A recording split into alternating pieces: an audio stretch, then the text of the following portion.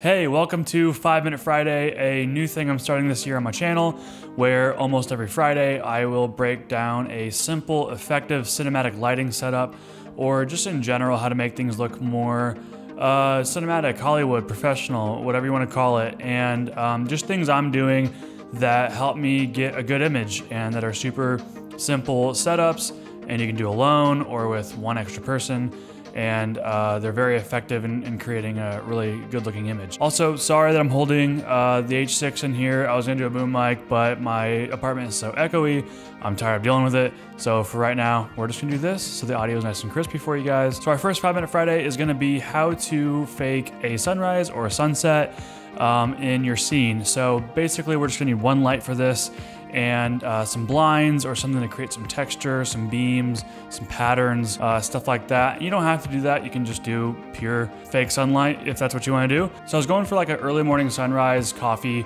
scene um, where I make a cappuccino and there's uh, some, some sun rays coming in. And I just wanted to do a single source light here, uh, but I actually filmed it at like 11.30, so it was nowhere near actual uh, sunrise or sunset. I was gonna just put my Amaran 200X, I think it is, on like 3200 Kelvin and do some warm lighting like that, but I couldn't flag off the whole window. So it would have mixed with the 3200 Kelvin light on the Amaran and it wouldn't have worked. So I set the Amaran to match the actual daylight that was coming through the window from good old Mother Nature. And I set my camera white balance to like 6,000, 6,500, somewhere in there. That would make that daylight balance light coming in look warm and then it would feel like a sunrise. Hey guys, quick break, talk about today's sponsor, Cuts Clothing, and the fact that I am an official partner with them for this year. You're gonna see them a lot more around on this channel. Uh, they're gonna be sponsoring a lot more videos, and I'm actually wearing their shirt right now.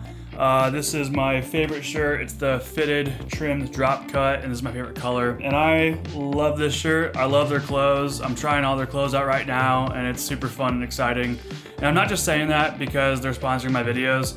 I genuinely like this brand. I think they have a lot to offer uh, for me and for you guys as my viewers. My goal is to only partner with brands that I believe in and I think are doing great things for people and making great products. And after talking a lot with the guys over at Cuts, I believe that they are doing that well, and I'm super pumped to be a partner with them and to work with them and uh, to grow with them. So if you want in on these comfortable, good looking shirts, use my link, it helps me out a lot, and use my discount code to help yourself out, Daniel W. Cunningham. I'll put it right here and my link right here, also all in the description.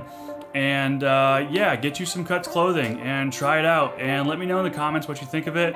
But that's enough for now. Let's get back to 5 Minute Friday and learn how to fake a sunrise. So as far as placing the light source, I did my Amaran 200X. If you don't have a bicolor light, don't worry. On Amazon or B&H, you can get really cheap gels to make your light look warm, cold, green, colors, whatever you want. So I took the Amaran, put it on a light stand, leaned it into the window, and put it behind my blinds to give some pattern, some shadow pattern, like the sun was coming through, uh, you know, the window and some blinds. I used no cone or diffusion on it. I wanted it to be hard light coming through, like it's the sun. So I just leaned it back in there. Uh, I took some gaff tape because it kept falling over and I wanted it at a certain angle um, threw the blinds over it, and then that was basically it. To finish off the shot though, I went ahead and hazed.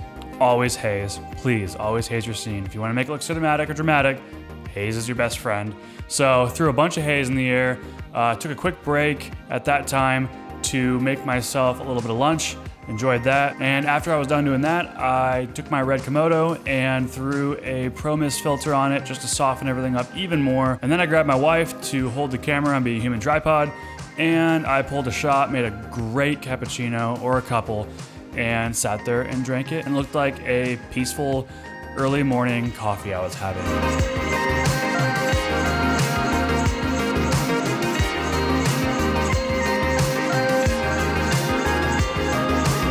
That is it for this 5 Minute Friday. I hope I got it in under 5 minutes. That was a pretty simple setup, simple concept, but if you're not using single source lights through windows and behind blinds to mimic sunlight coming through, you are doing it all wrong. Do not rely on the actual sun. This is super effective. It looks great every single time. I do this like on every shoot almost if it's uh, during the daytime. And you can shoot it at night and you don't have to worry about the actual sun moving. So um, thanks for watching guys. I hope you enjoyed this 5 Minute Friday and you learned something. If you did, please like this video and uh, I hope this, this helps you on your, your next project. Um, all right guys, I'll see you in the next one.